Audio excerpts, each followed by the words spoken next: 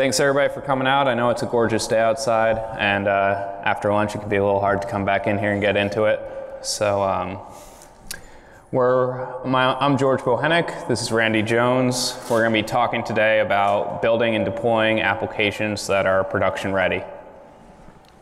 We work in professional services here at Esri out of Washington, D.C. And in that role, we end up deploying a lot of large JavaScript applications across a number of clients. So over the course of, uh, of working on these applications, we found that there's definitely a need to put some care into the release of your applications. When you first start getting this process established, production can seem like a, a scary place. You know, people are hitting your page with ancient browsers, cell phones, slow internet connections, who knows what else. But it doesn't have to be that bad. Production can be a magical place. Everything loads faster, people get to see the work that you've done, you can make a difference there. You know, a lot of times we think an app is ready to go when development is done, when your code works as expected, QA signs off on it, you can just go. That'll work in a pinch, but there's a lot that can be done after development is complete to improve performance and to give them that user experience they really deserve. So most of these improvements are pretty easy to make and they can make a huge difference. The first one here is probably also the easiest and most straightforward way to get performance, and that's gzip. Every server should be configured to utilize gzip or deflate to compress text files. Pretty much every modern browser and web server supports gzip for text compression and can reduce page size by up to 90%. It's a huge win when you think about you're only adding a couple of lines to your server config and you can reduce your page size by that much. So up here on the screen, there's a small snippet of code and its related gzip compression. That tiny piece of code got reduced by 47%, from about 800 bytes to about 400. So that's a pretty huge win. And on a larger scale, that can be even bigger. We, uh, we ran some analysis before this presentation on a public-facing mapping application we found that didn't have gzip enabled, and uh, just enabling that compression reduced the overall page size by 1.2 megabytes. And that was 76% of the total page size. So please do this on all of your applications. Once you set it up on one server, it works for all of your applications, so you don't have to think about it every single time. It's just something you do once. So next on our priority list is always going to be to minify every last bit of CSS, JavaScript, and HTML we're going to continue to take that page size down. So it's amazing how much extra room you end up losing when you get rid of white space, long variable names, comments, pretty much everything. Even images can be minified or optimized. So one of the image resources we're using, we get them off Google, we get them from our graphics department. Someone has designed these images. They're usually a lot bigger than they need to be for the web. They don't want to lose any of their data but we really don't need that. You just need them to be the size that they're going to take up. So we want to, you want to resize every image as much as possible to the minimum. And that makes them smaller, but you can also load them in a smarter way, and then you get more performance that way. So each individual network call that you're making from your web app is going to give you a hit to performance. And we can reduce some of that by combining our images into one file that we call a sprite and you put everything in one file, you can then control the width, height, and position of that file through CSS and reduce all of your image calls to one or just a couple of image calls. And that helps your performance quite a bit. And then, so once you get that, you get your images smaller, you get your code smaller, everything's deflated, you can get even more performance through browser caching.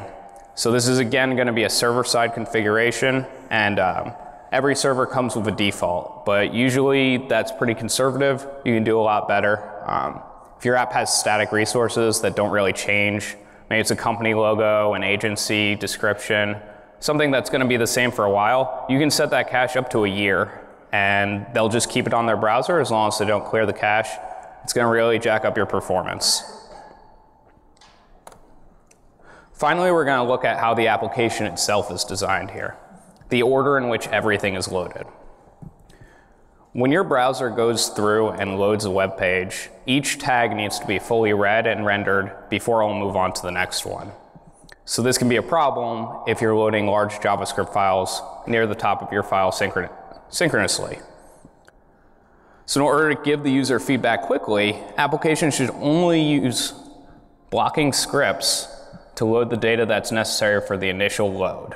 Everything else can be loaded asynchronously or after the fact, when they click on a button, when they scroll to a certain area, any of that. And that also applies to CSS. So this one can be a little tough to wrap your head around just how this is working. I'm going to step through really quickly and show an example.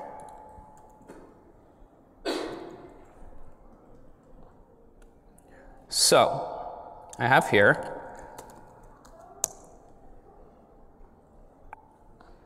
two websites. We'll look at the behavior first. So if I go to the first one, you can see that's labeled bad. And this one, I have all of my code loading at the very beginning. I've, uh, I've set it to work as about a 3G connection. And you can see I basically have a JavaScript file coming in here about 200,000 comments or so, just to bulk up the size of that file. You can see it, was, it took a really long time to just get that text on the screen and draw that picture. What I've done in this second one is the same website, and the only difference is that I've added an async tab tag to my, uh, to my blocking JavaScript. And you can see now that that text loads very quickly, while the JavaScript that's going to load my image is being loaded in the background. And that's going to give your users a much better overall experience. You can set loading tags. You can maybe start loading a map before you start your more complicated analysis and make that available. And I find that what users want overall is to just know that something is happening. And there's not a white page there staring them in the face. If we look at the code for this, we can first look at our bad one, you can see here it's pretty straightforward. I load jQuery, I load a processing JavaScript file, I load a style sheet, and here's this, uh, this loading message. It's not great, right? But it's just something very straightforward. The processing JavaScript file is huge. I change the image here, and then I have a whole bunch of nonsense that does nothing. If we look at the good version, you can see the only difference is this async word right here. And that made a world of difference to the actual performance of the application. So it's something just to think about when you actually go in your application, think about what it takes to load that initial thing, to give the users some feedback, and make sure you do that first. Take it out of your core JavaScript files and load it before anything else. All right.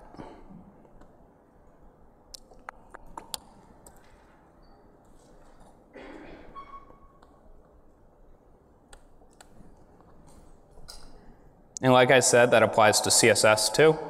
So if you have other sections of your page that use CSS that aren't loading right away, load those after the fact. Do it with some JavaScript, load them dynamically, load them asynchronously, whatever you have to do to get out of your own way. So there's a, there's a few things I've gone over here. It can be a lot to remember. Um, the technology is always constantly evolving. This page right here is uh, Google Page Speed Insights. It's a resource that we use that's pretty good. It, um, it'll take your website and it'll go through and scan for any common mishaps or best practices that people might miss out on. Um, here's what it looks like when I ran it to arcgis.com. It thinks there's a little bit we could do with that, but um, you can see it says to optimize the images, leverage browser caching, all those sort of things. Um, it's pretty cool. They have some great documentation. Uh, they'll tell you why you should be doing something and how to fix it, not just that there's something wrong. So that's definitely a great resource. Another good one here is um, this comes from the folks over at HTML5 Boilerplate. It's just a set of server backend server configs. And um, this is really good for that initial web server setup. They have settings in place in these files for, um, for gzip, deflate, browser caching, CORS, a whole bunch of other type security settings that you probably want to implement. And they do a really good job at keeping this updated. So we've covered a few basic concepts here for building performance and getting things production ready, setting up your server. But out of all the optimization techniques we've used, we find the biggest difference when you're writing large mapping applications with the JavaScript API is by running the Dojo build. And what the Dojo build does is it provides a set of tools that help build your applications along with all of the AMD modules you're pulling in. So that'd be anything in the JavaScript API, any dijits, any sort of require JS statements that you're calling, and it combines them all into a few single layer files. So what that's doing is similar to what we talked about with the image optimization. It's going to take out all of the white space, it's going to make your variable names shorter, and it's going to put everything into one or a few files. I'll pass it over to Randy now, and he's going to show us how to actually go through and do that. So just out of curiosity, how many people today are already using um, either a Dojo build or some type of build to take their application to production? Okay, good. So looks quarter-ish maybe of the room. Uh, so the, uh, the best way to get started with doing the build is really to make sure that your project has good organization. Um, but it doesn't matter whether you choose to organize your code in a very flat manner or if you use a very nested structure, um, you can configure the build to work with either of those. So the build that we're going to use uh, is going to utilize uh, Node.js. Uh, so you're going to have to have that installed as a prereq. And um, we'll start looking at what the requirements are to run the Dojo build. So the first thing that you're going to have to do is set up a build profile. Now this is going to tell Dojo all the things that are needed for it to pull together um, both your custom code and the JavaScript API in Dojo together into one or a few files that you're going to include in your application. So this is sort of a long looking file that you can see here, but there's really three sections of it that you'll probably need to customize for your own application. The first part up here is the base path. This is where you're going to have it run from. Um, so this is where all that code, all the packages, the Dojo packages are going to end up with and where you're going to run them from, the build itself. Then the next section is this packages section down here at the bottom of uh, the screen here that we're showing on the left. Uh, so what this looks like zoomed in is this is both uh, where you're defining, this is kind of like the Dojo config in your uh, index page. So you're defining the packages. So not only are we defining the Dojo ones, but you'll need to add in and change it for your packages. You can see here the package that we're using in the sample application today is called build project. Um, so the way that we reference all the files that we might have in there uh, are, you know, build project slash controller slash toolbar, you know, those sorts of things. Those are our, our class, Dojo classes. The last section uh, that you need is the layer section. Now each one of these sections that you put in this layers is going to end up generating a JavaScript file. So in the example that we're showing here, we're building a Dojo.js file. It happens to be in the Dojo package. And you can see that we're telling it that we need to include these basic sets of uh, files, or sorry, of classes to put into it. Uh, we're telling it that this is going to be the one that we're going to start our application with. That's why the boot is there. And um, you can notice that we have our site manager class there. In this sample application, we're using that as sort of our controller uh, class, and that's really what initializes the whole application. So the next thing we need to do the build, we have our profile, but we actually need Dojo and the JavaScript API to combine together with our custom code. Um, so the easiest way to do this is through package management. And uh, we're going to use Bower as a JavaScript package management system to do this. This will just help us in the most easy way possible get the correct versions of Dojo, the JavaScript API, and uh, any dependencies, uh, dgrid, dstore, et cetera, that you might need. So Bower allows us to just pull all those really simply, um, and it's really easy to install and use Bower. So to start with, we'll install Bower, and Bower is something that we're, in, we're installing with the Node Package Manager here. Um, the dash, dash G flag that we have set here uh, is letting it know that we want it to be installed globally. So when you're on your development laptop or whatever, you do this once and then you can use it anywhere, just like you install the program on the path. Um, and so once we have Bower installed, we can start asking Bower to pull down dependencies. So we're asking Bower in this case to install the ArcGIS JavaScript API into our current project. And the little flag to save dev on the end is going to let Bower know that we want it to create a Bower JSON file for us and save this dependency into it.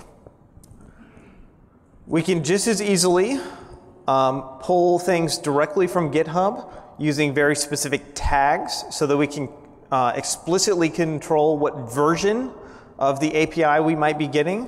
So the, the first install line is going to go look at uh, the Bower uh, repository and basically give you back the latest.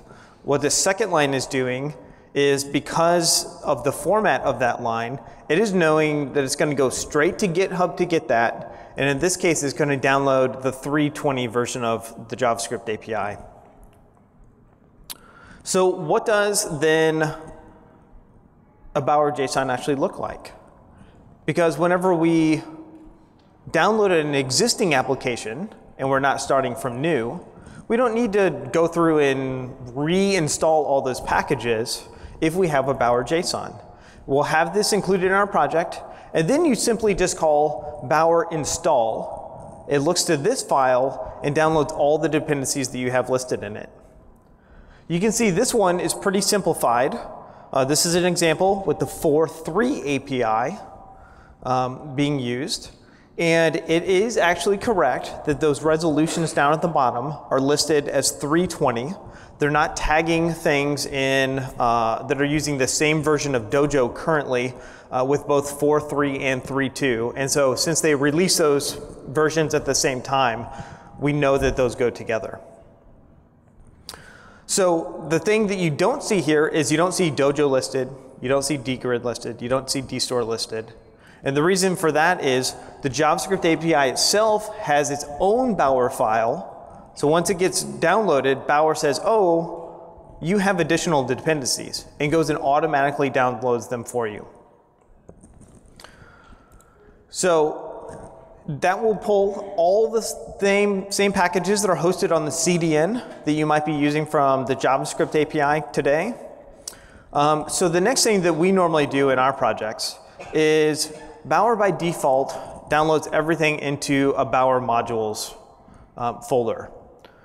With the way that we do the build, we generally like to have it download to a different folder.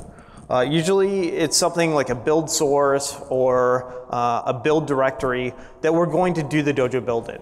This helps us limit the amount of times that we need to copy data around um, while still preserving um, our source files and not muddying the water between the two.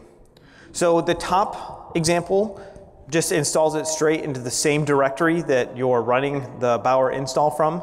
The lower one would install all your dependencies into a build source directory.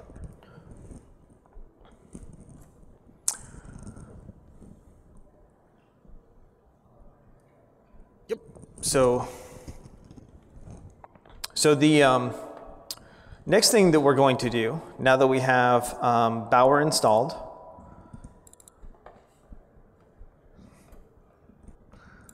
is we are going to, we're ready now to run the build. We have our build dependencies done, and we uh, have our Dojo package file, and now we're ready to run the build. Uh, but this isn't very pretty, is it? Uh, this is how we would run it from Node on the command line. And um, I know I would hate this every time that we ran the build. Even if I wrapped it in a bat file or something like that, this is just not the nice way to do it. Uh, it also is very difficult to take this command and integrate it into uh, any sort of build automation that you might want to do, uh, pipelining, um, or you know just run things locally on your computer. This is not the most elegant way to do it. So let's talk about a better way. Um, there's a lot more value if we start running this build from within other tools that allow us to do a lot, a lot more uh, to our application. Uh, because the reality is, our applications are likely, especially over time, to grow in complexity, and we're likely going to need to do more to do the build itself. Um, so we can combine together steps of not just doing the Dojo build, but really pulling all of our artifacts together for the distribution that we need to produce to put our application in our production server. So there's a lot more value if we're going to look at using uh, a task runner or a build system. Um, so right now you can see uh, Gulp and Grunt are both task runners. Uh, you could even write scripts in straight Node if you wanted to, straight JavaScript scripts to do the build. Um, but if you have a legacy application as well that might use some other existing build system, you don't need to change. Uh, we've done builds in both Ant and Maven, and I've seen it done with the TFS build system. So there's no real limitation to any of these other build systems. So if your enterprise already has something else or you're already using something else, you don't need to change to one of these tools that we're just talking about today. You can certainly do this all in the one that you're already using. So the example that we're going to go through today just happens to be using Grunt. Um, and you know, if you're new to this, Gulp and Grunt are both, I think, easy entry points uh, to this type of um, task running and, and uh, uh, scripting of tasks like this. So those would be great things to go look at. Uh, Grunt installs just as easily as Bower did for us. Uh, we can just do the npm install, and if you remember the dash G uh, makes it global for us. So after I install this, I can go with the command prompt anywhere in my, in my system and just run grunt, and it will uh, try to do its thing, uh, assuming that all of the right things are there. Um, so we install the dependencies for grunt uh, using npm, uh, just like we do to install grunt.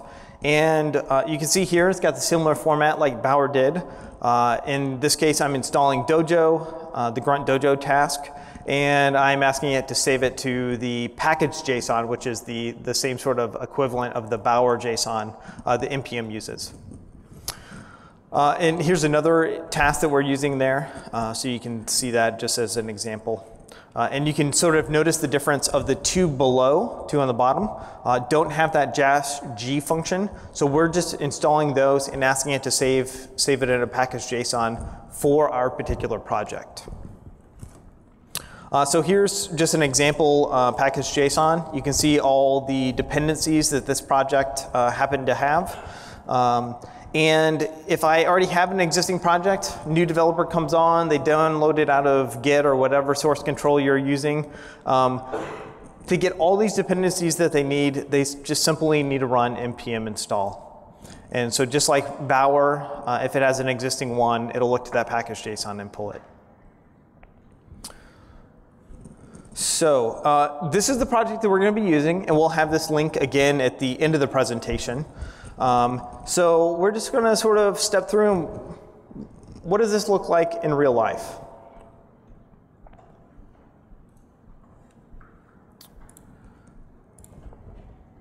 Okay.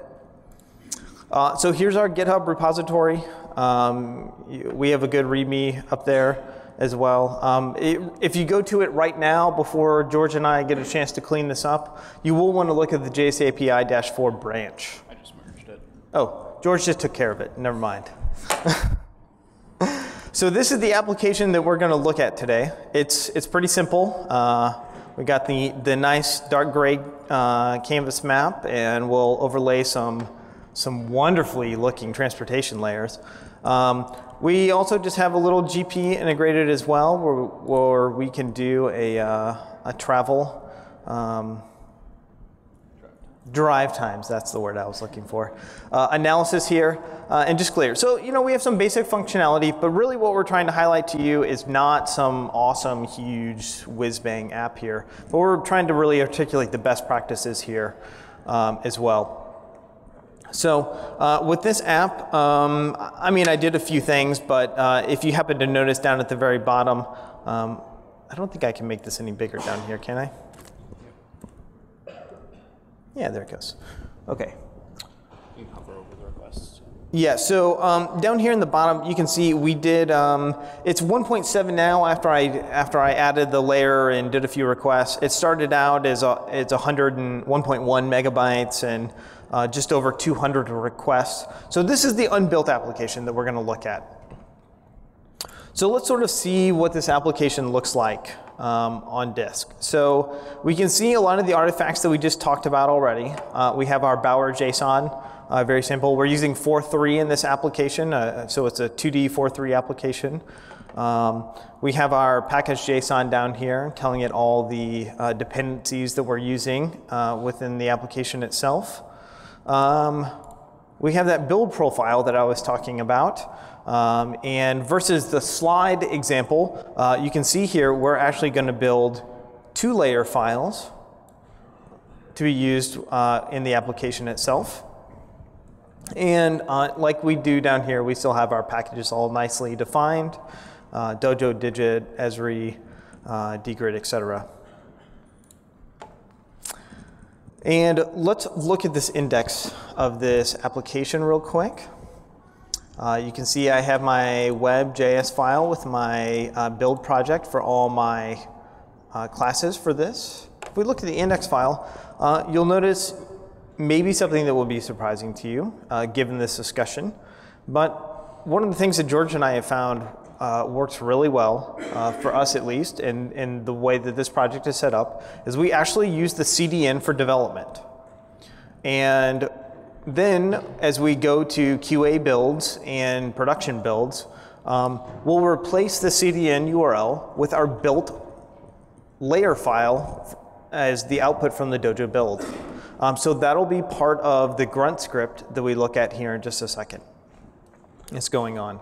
Um, but you can also see here um, the amount of code that we actually have here in the, in the application is very, very small.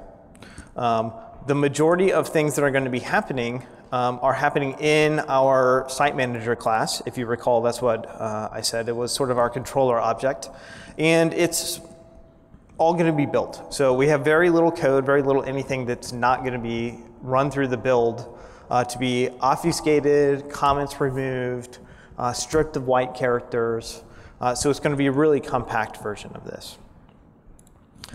So I said that we're going to use Grunt for this. This is what a, a Grunt file looks like. It's JavaScript, so it's um, something that I think should be fairly familiar to people to start picking up and using. Um, you can see I'm loading some tasks that we're going to be using. Uh, we obviously need Grunt Dojo because that's what's going to do the Dojo build for us.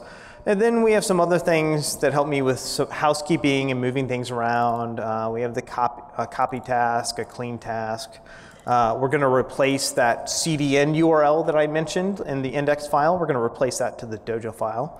Um, and then George and I have some other great best practices in here already. Um, Karma for testing and JS Hint for um, you know, making sure that our JavaScript uh, meets best practices as well. Uh, you can hear more about those things. We're going to be talking about testing at 4 o'clock, I think in the same room. Uh, so you can come back for that if, that, if those topics interest you. Uh, so here's some setup for our clean task. Uh, we actually have three sort of subtasks of it. Um, you can see we're copying some things around here in the copy. Uh, here's where we're doing that replace later, um, where, where we have a few things, taking Dojo out of debug mode and swapping that uh, JavaScript API URL to the Dojo.js and things like that. Uh, let's get down here to the meat of it though. Uh, we're here to talk about the Dojo build. So we, are pointing the Dojo build to where our build profile is. Um, and then we're sort of setting it with the things that it needs. The Dojo build uses Dojo to build Dojo. Uh, so uh, we have to tell it where the Dojo file is. We're going to tell it that it's doing the build. Uh, we're telling it where we want the output to be. So the Dojo build sort of goes through these incremental steps as it does things. So we're going to sort of hold off on this build temp file. We're going to put our sort of temporary artifacts. And um, this is actually a change if you happen to come to this presentation last year. Um, we, last year, we sort of built everything in the dist directory and then sort of tried to clean ourselves up. And we figured out over the last year that if we do it this way, we save like a minute off the build time. So uh, sometimes that matters, and it, it, matters to us during our continuous integration process. So we saw that as a, as a good win here. And then we're telling it wh what directory it needs to do the build from. Uh, and we're putting everything in that build source JS directory. If you remember from that Bower JSON, that's where I'm sticking all the other things. Um, so what is the what, is, what does a build look like as far as the tasks that we have to do? Down here in the grunt, we can see we're going to clean up if there's an old build. Uh, we don't want to cause any problems there. Um, we're going to copy some things around for the pre-build. We're going to start creating our dist directory here, as well as um, copying our own packages that we need to build into that uh, build source file. We're going to run the Dojo build. Um, that was pretty straightforward, I think. And then post build, this is where we're going to copy those layer files uh, that the Dojo build outputs into the dist directory. We're doing that replace from the 4.3 to our new build one, like I uh, spoke about. And then I have this post build cleanup just to clean up that temp directory that uh, we were talking about. We're going to utilize uh, there. So now that we have all this, what does running the build actually look like? Uh, we can just do grunt, and we want to tell it what task we want it to run. Uh, so I'm in the directory of my project right now, and that's it. So this will run. Um, I'm actually going to not run it though. Uh, because what you will experience when you do this, and I'm going to take George's line uh, from later, but it makes your processor spin and it's going to take up like a full core or however much you'll give it and uh, sound like a jet engine, or at least my laptop does. Uh, so we'll let you know everything actually run so I can click things. And um, but so I have already here uh, prepped just from a little bit ago.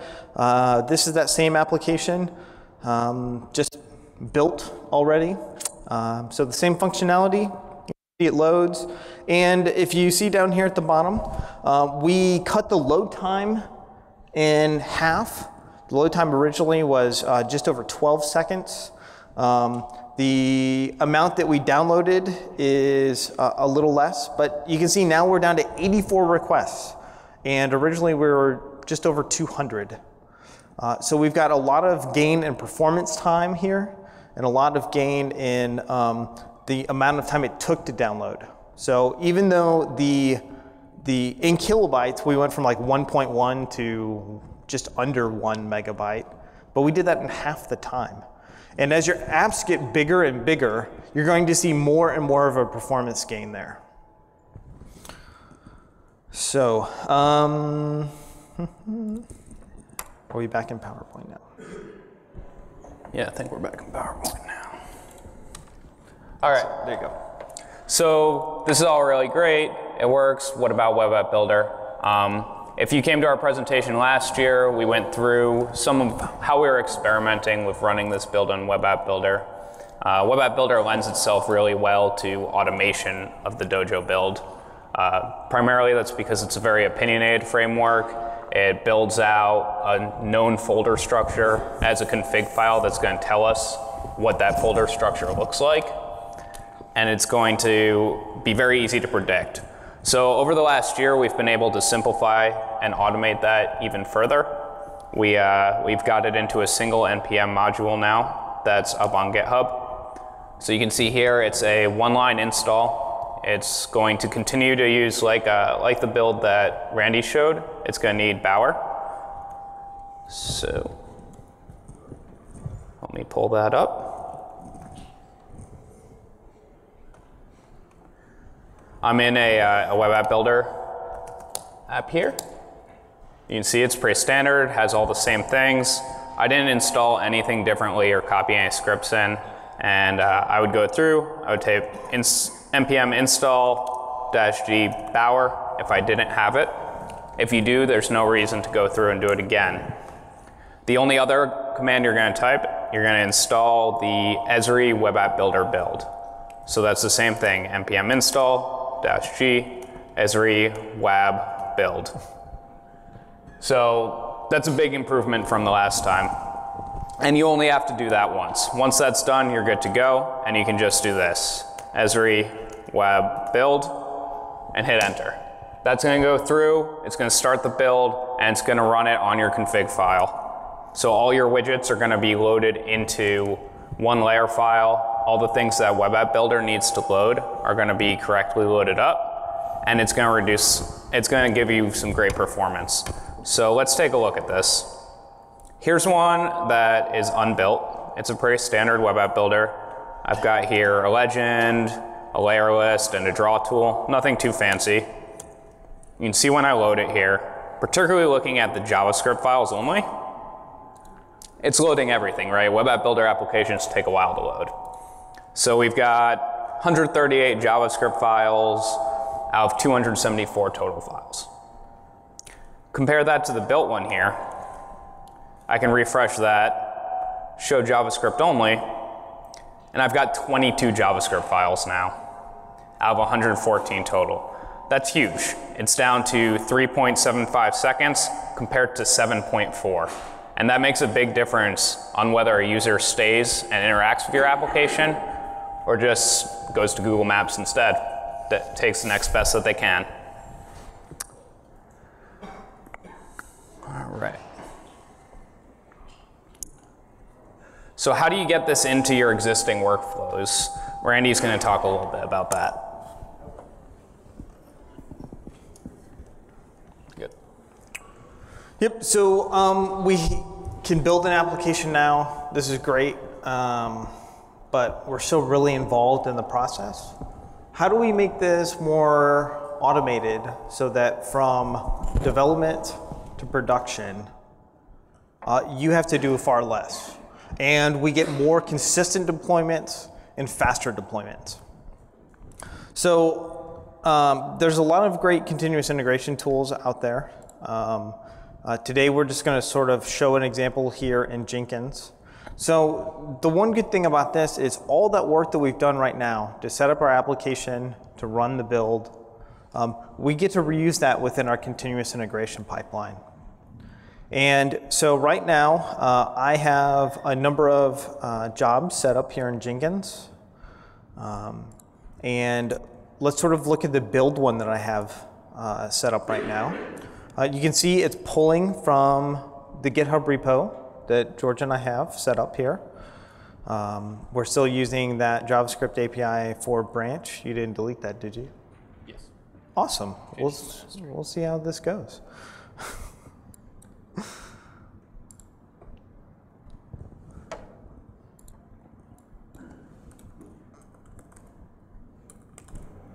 It's what we call live debugging. Yeah. Um, so now this one I actually have um, being built by uh, the completion, the successful run of my test job. And again, we'll talk about that a little more at four o'clock. Um, so you can see here the familiar steps that we said that you needed to do to do the build. Uh, we have the npm install of the dependencies that we need. We have the Bower dependency installations, and we're running the grunt build here.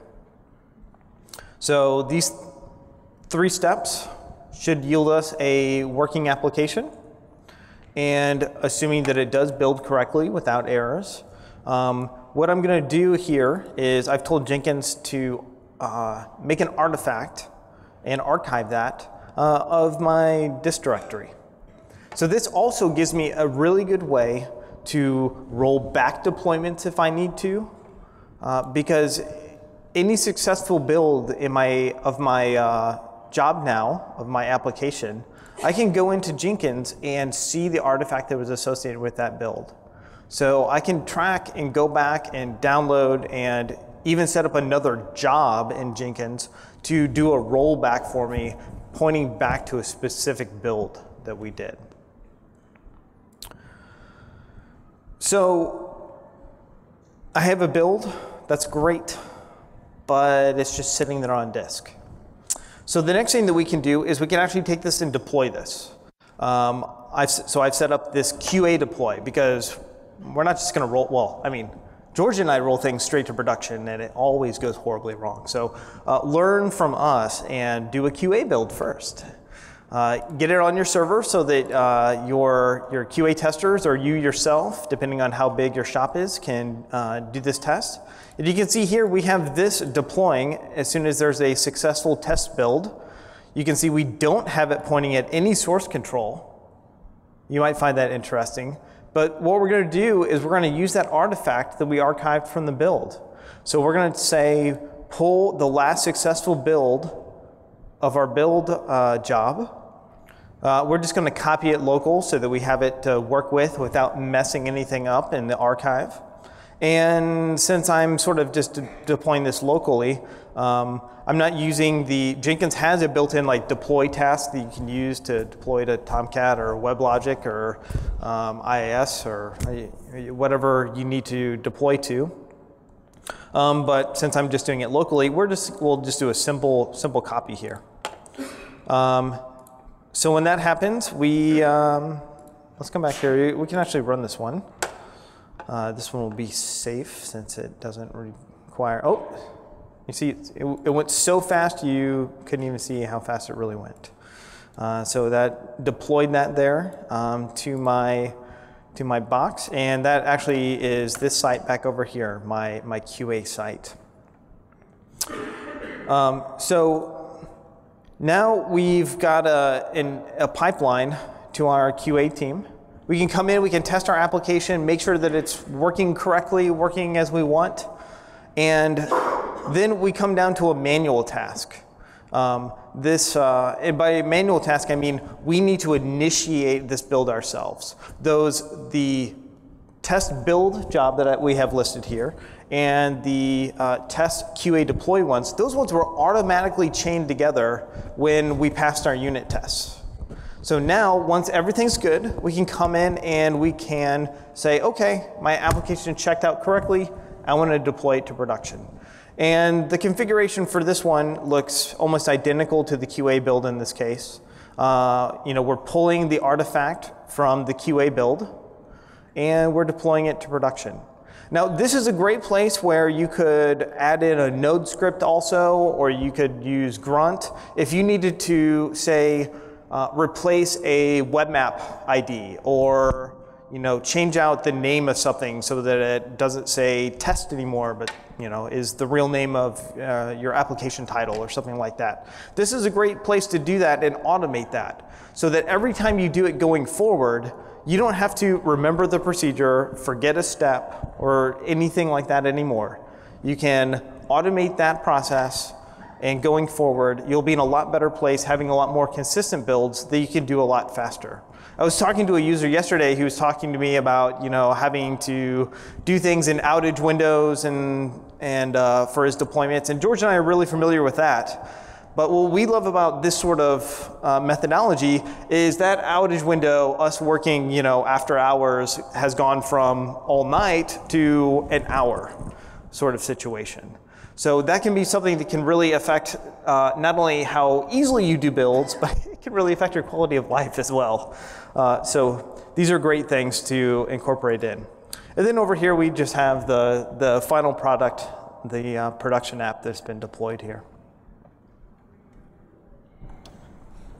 All right, so I mean, I hope you guys learned something today. This is really important stuff. It, uh, it can really make a difference in what your applications end up looking like, what your organization ends up looking like, and really just the overall product you're trying to convince.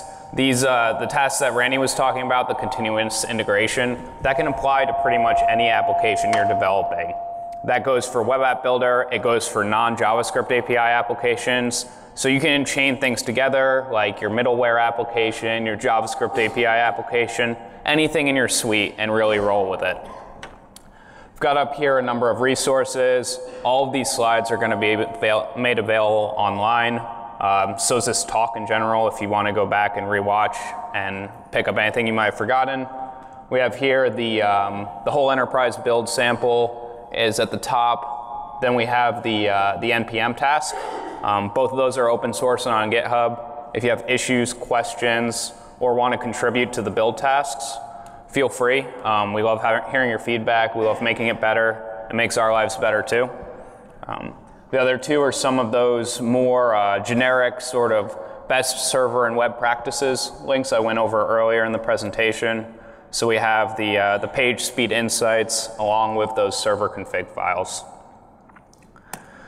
Uh, we'd really appreciate it today if uh, when you're done with this presentation, you uh, pull up the mobile app and give us a good rating uh, or just give us some feedback, but we like the good ratings better. so I think we've got, uh, yeah, we've got a little bit of time. Does anybody have any questions? Yeah. Related, but um, in Grunt, you can actually do like uglify and minimize and all that. Why would you, if you can explain the differences between doing that and in that Bower build where it's specified?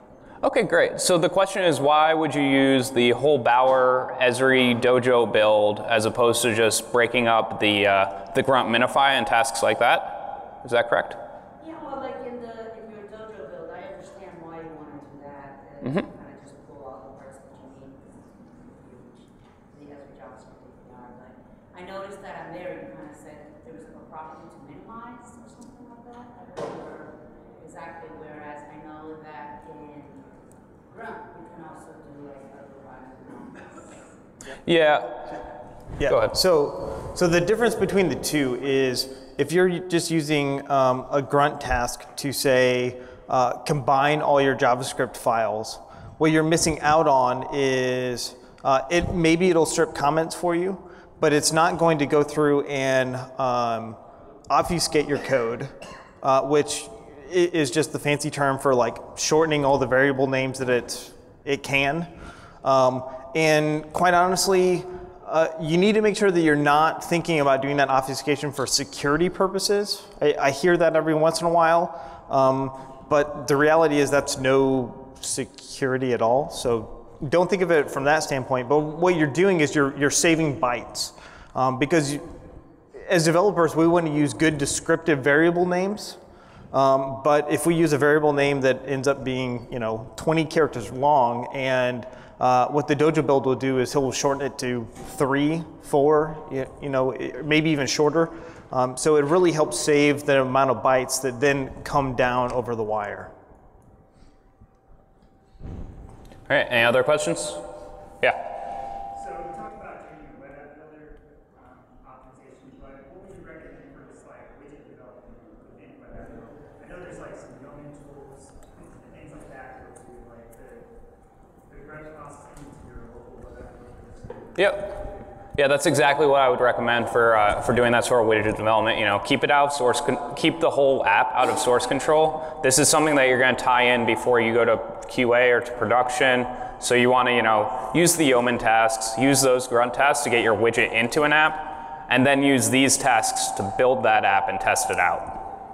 The question there, by the way, was um, how do you go about individual widget development through this life cycle versus overall app development in the web app builder? Any other questions? Yep. During building, what's going on with uh, what widgets, about the widgets uh, that are packed? So the question was what's going on with the web app builder widgets during the web app builder build? And what happens there is they're combined into another into a separate layer file. So they're loaded all at once as one JavaScript file. But if you remember back to the blocking JavaScript calls, that one's actually it's loading all the widgets asynchronously while the rest of the JavaScript API loads. Any other questions? Uh, There was one, yep. Uh, let's say I'm using two libraries that have a dependency on another one, uh, different versions of it. Our has needs to fix one, Yes. and then the other one breaks. Is there any way to consolidate that? Um, yeah, sure. So in your, the way to do that is actually, um, You have to rename the. You can change the namespace, right? Yeah, actually, if, if you come up here afterwards, I'll show you what the Bower file looks like um, because that's actually what the JavaScript API is doing with uh, dgrid in the 3x um, line of code. So dgrid in the 3x line of code has both the, I think it's 037 and the 110 version available within it. But they, the way that they've separated those two is by package name. And so in the Bower file, the way that they have them defined is they have one as dgrid and one as dgrid one, and then they point to the specific versions that they need to, to uh, pull down. So if you come up here, I can show you the example of that, uh, what that looks like. Are there any plans to include the script to the web app builder edition?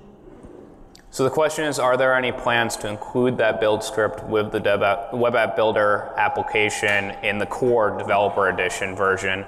And uh, this is still pretty experimental. Um, I kind of developed this on my own time, and while uh, while it's something I'm looking to talk about, it's nothing that's planned on the roadmap right now. Yeah, and the way that you install it currently um, actually tends to work better outside of the developer edition. So That's exactly what we do at the moment, basically. We develop our widget and then we include to, uh, we add it to, uh, an an application that we loaded from online because that was built. I was wondering if you could Well, I mean, but so whether you download the Web App Builder uh, application from online or from the developer edition, uh, the, the build will work with both. Yeah. but one is already built, partially, and the other is not. Yeah, even though it's partially built, it should still run through this task Yeah. successfully. Yes. Does the um, Esri web app builder bit version, is this tied to like a specific version of the web app builder or is it more of a The question was, does this, uh, does this web app builder build work on any version of the web app builder or is it a specific version? And the answer is, unfortunately, it's a specific version. This is with the most recent version of the web app builder, and right now it's only in 2D. So one thing that you can do if you really need a 3D application or a specific version, go onto the GitHub and either make an issue that says that's something that you need and want, or um, feel free to just, if it's something you need to develop, go in there and contribute yourself. Yeah, so it's two, two, three, right? Yeah. And I guess theoretically it might work with some of the other 2x versions, but you, the only one verified right now is 2.3. So 1x, you'll you there is build scripts for 1x. You could go back and look at what we did last year, um, and George's. Uh, it's in the same. Um, it's in under your account for that one, isn't it? Yeah. Yeah, so if you needed a 1x build, you could go look at George's GitHub account uh, where he listed the, um, the current web app builder build that we talked about, and there's an example of what we did 1x last year. But again, that's going to be like for the specific version of web app builder that was out at the time of Dev Summit. The other versions of 1x are try at your own risk. Maybe they'll work, maybe not. We're not sure. I just wanted to follow up on that first question that was asked over here about, um, you you have a separate build system where you're, you know, it, uh, minifying it, whatever you want to do. Um, seems like, you know, you have to run that build. You dealt with use cases like that where you're trying to either use two parallel build systems or, um, or you try to run everything through the Dojo build system? Get rid of your other, you know, run amplified paths altogether? So the, que- the question was when we're, uh, when we're using other tasks and you know things that aren't JavaScript API or aren't Dojo that have other sort of uglify or minify um, Bower tasks that can be built with, do we try to put everything into the Dojo build or do we go out and try to run parallel build processes? Is that correct? Okay, yeah, and we're big fans of simplicity, so we'll generally just push everything through the Dojo API. and do that build. Um, we find it works very well. We find it's very good at different uh, AMD modules. So it does work for external libraries that are also built to AMD standards. But um, I know people that have used the RequireJS build processes successfully as well. And uh, so it should be possible. We don't personally do it just out of the sake of simplicity. Um, the less moving pieces you have in your build is usually going to be the better way to do it in my mind. Yeah, you certainly could craft a careful uh, Dojo build profile to just build um, the mapping aspects of it separate from the rest of your widgets or application if you wanted. Um, but there's certainly going to be um, some nuances there that you'll have to work through to get that to work. Yes? What's the advantage of developing against the CDN versus PowerPad? I just find it easy. I mean, we, we've, we've come up with a process that works for us. Um, I know uh, we, I don't think we've had a problem in years with problems of developing against the CDN and then switching it out. Um, especially once Bower came along um, into and us publishing the APIs uh, into GitHub in, in a way that we could pull down with Bower. Now that we have the consistency of knowing that we are getting the right versions of Dojo and if it's been patched in any way and, and things like that. Now that we can be assured that we're getting the right versions of all those things, we really haven't had any problems in doing that. And so the, the fact that it's a CDN, um, honestly, I hate downloading everything to my, and like my projects. So the less I have to download or you know have Bower copy into my project is better in my book. Yeah, and there's no reason that if you prefer to download it locally, or if you're in a disconnected environment, or I don't know, S3 is down for some reason, you know, you can definitely apply these principles to the download version as well. We did not get enough laughs out of that S3 joke. But you ultimately have to fetch the packages in order to build, right? Yes. Yes. You're just, fo- you're just fetching what you need for the build, or? No, so the way, at a very high level, the way the Dojo build works, and you could um, customize this somewhat to get a faster build. Um, but the way that it works right now is so you download all the dependencies, and then when the Dojo build starts, what it does is it actually goes through and builds every single JavaScript file that's in every package that you put in the build profile. And so that's the intermediate step. And then as it's gone through and done that build process, what it's done is it's scanning and it's analyzing all the dependencies between, between things. So when it builds, when it brings all those files together into the layer files, it does through, so through like the dependency tree. So it starts with like, since we have like the loader for instance, like it starts with like all the Dojo base files and pulls those in. And then it goes through that list of classes that you had there in the profile and says, oh, uh, well, George's uh, site manager depends on, you know, A, B, C, D, you know, and it pulls all those together and, and um, puts them in such a way that you are guaranteed to have what you need at that time. And so then the output of that is that layer file that has all the dependencies pulled together. But it does that, it does that scanning so that it knows like all the dependencies at the time then when it's going to build the layer file, it can resolve those really fast. And um, I, I, don't know if you saw it, but at least in this, in this latest build, uh, we, we have the build down to right around two minutes. Depending on how much I'm clicking on other things on my laptop, it takes like a minute 50 or so or whatever. And actually this task down here, um, I was surprised to find the, oh, can you flip over? Yeah, I was talking about my screen. So this task down here is actually the task that we ran last Dev Summit. I really didn't clean my laptop up after.